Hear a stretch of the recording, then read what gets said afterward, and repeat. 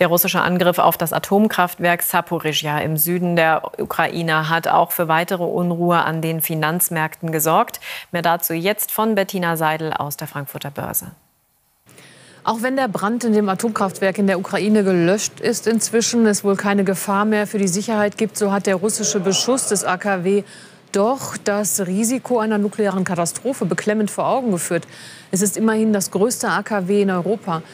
Diese Angst, diese Unsicherheit lässt Investoren aus Aktien flüchten. Das sorgt für die stark fallenden Kurse. Der DAX hat nach den 2% Minus gestern heute Vormittag noch mal stark verloren, zeitweise mehr als 3%. Seit dem Angriff Russlands vorige Woche sind es also rund 10% Verlust. In diesem Jahr ist er so stark gefallen, dass die Gewinne aus dem vorigen Jahr komplett ausradiert sind und sogar noch mehr.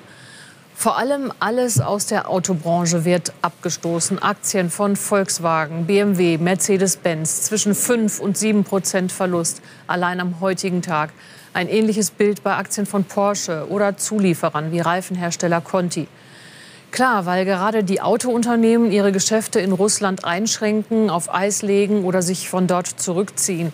Außerdem fehlen Teile, weshalb die Produktion stockt.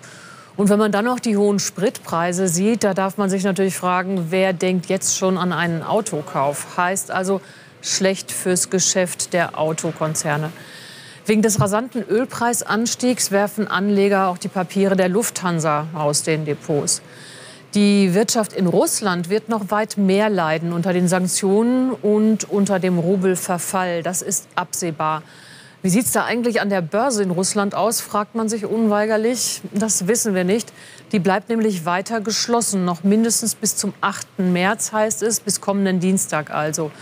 Dort traut man sich offenbar nicht, die Börse wieder zu öffnen. Es gibt einige Aktien russischer Unternehmen, die an der Börse in London gehandelt werden. Und dort sind die Kurse um 90 Prozent eingebrochen.